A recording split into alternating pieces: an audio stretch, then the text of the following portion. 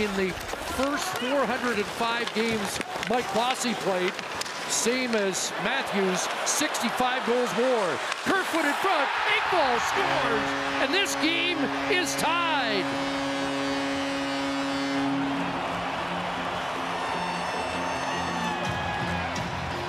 A beauty off the rush.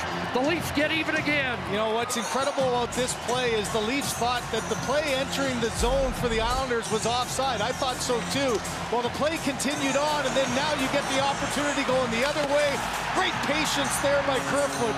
Looked like he was going to shoot a stop up. That turns the stick away from Pelech, and Engvall just in right position, no hesitation. Sorokin tries to stretch across, but the quick release it's about timing your route here. You get a little speed, now you slow down, open up, and a well-executed play off of a long stretch pass, and Kerfoot delivers it perfectly. Engvall ties this game.